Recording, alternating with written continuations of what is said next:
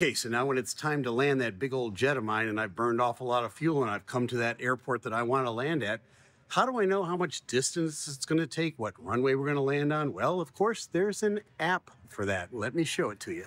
Okay, the landing app is so cool. I get to pick between a Boeing 777 and a 787. Since I'm in the 777 today, I'm going to select that.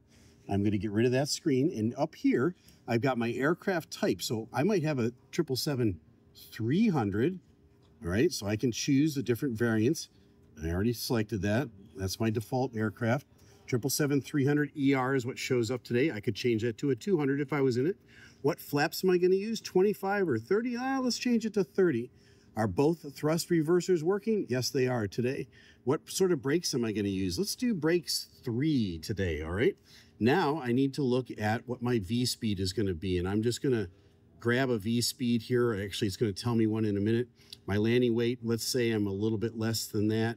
I'm going to go all the way down to this drop down menu, go down to 400,000 pounds and put that in. Up here, my pressure altitude, let's say it's sea level today. Let's say it's 15 degrees. I can change all of that. I can even figure out my crosswind component here. It's going to be a dry day, so it's going to be a braking action of six. And I come down all the way down here. And how much runway am I going to need to land on? 7,101 feet. That's how I figure it out. Now you know. I'm Captain Steve. Fly safe. Wait, don't go yet.